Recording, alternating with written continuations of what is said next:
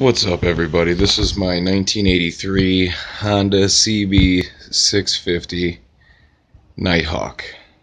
Um, actually have an 84 Nighthawk 700. Um, and this bike has no problem keeping up with mine whatsoever. It's got a shorter stroke, but anyway, beside the point. I'm I'm kind of bobbing it.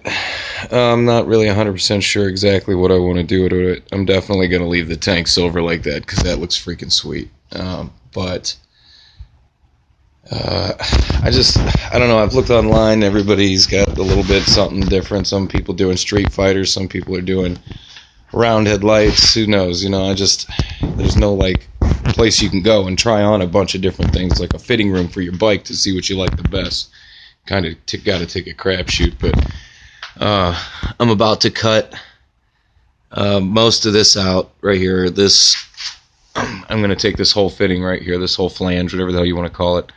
Um, I'm going to cut this out.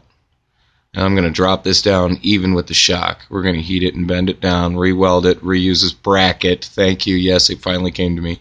We're going to reuse this bracket um, and just move it down here basically for just you know but i'm going to get rid of all this drop it down put a springer seat on it um, and if i do go with a springer seat i'll probably make this a hardtail too and get rid of these shocks uh, probably cut two inches off of it too as long as i keep the knuckle in place i should be fine but uh that's the plan I'm probably going to use an ammo box. I think an ammo box, like a military grade, you know, kind of ammo box in here for everything. The battery. Um, try to. I'm going to try to do a metal plate right here too, right here, and I'm probably going to put the rectifier up underneath it, like just in this little area here. That's the plan. Uh, as far as that, I really haven't figured out what I'm going to do as far as handlebars and headlights and stuff like that. That's all aesthetics. That stuff comes later, but probably ape hangers if I'm going to drop the seat down, mine as well. And I'll probably move the gear shifters over or put an extension on them so I can put them up there with some kind of highway peg or something.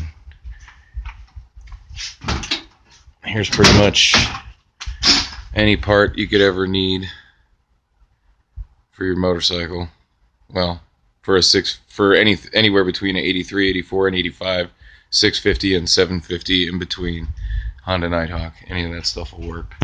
You name it, I got it. And uh, I will update when it's done. Here's the seat that I tried to make from the old seat, which looks a lot like that one there.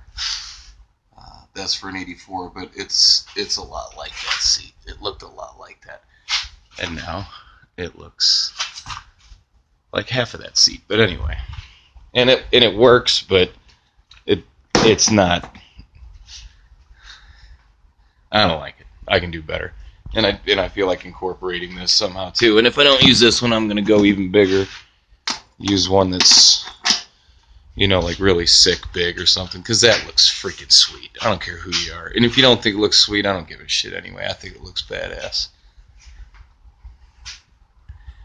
Yep. She gonna look sweet when I'm done. Anyway, I'll update. Thanks, y'all.